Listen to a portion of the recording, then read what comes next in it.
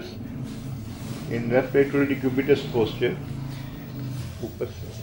place the probe in the sixth or seventh intercostal space and then turn obliquely a bit. This is the intercostal space. And here just close to the subcostal region or slightly above obliquely rotate the probe to get the horizontal branch of the portal right portal vein.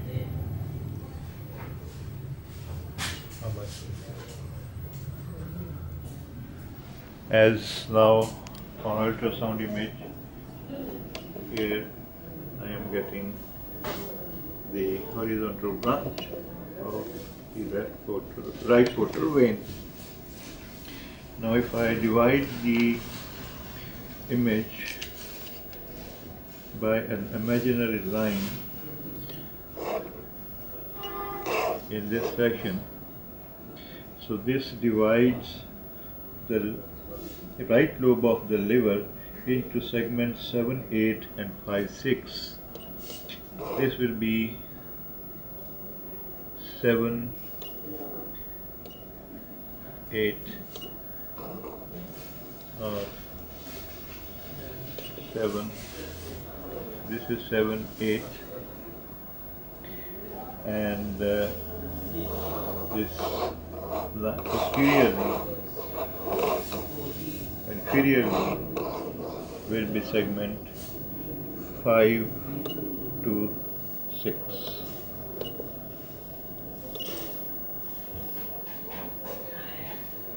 So this is the division of the right portal vein uh, of the uh, right lobe of the liver into segment 7 8 and segment 5 6 the superior part is 7 8 and inferior is the segment 5 and 6 if I this if I keep the probe there where I was.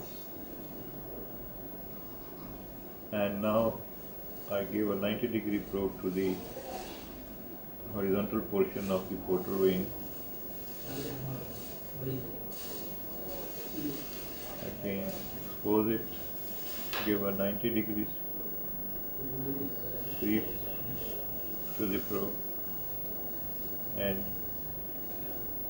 cutting the rib shadows we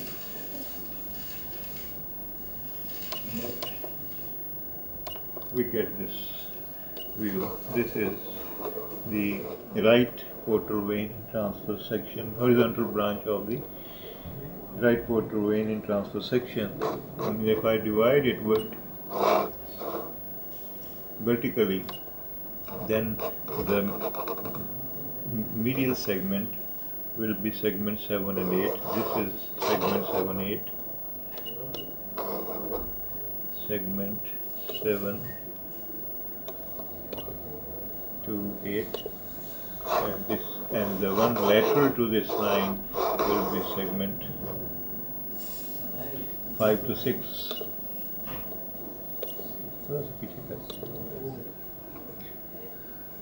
this is the segment 5 to 6 this is segment uh, this is segment 7 to 8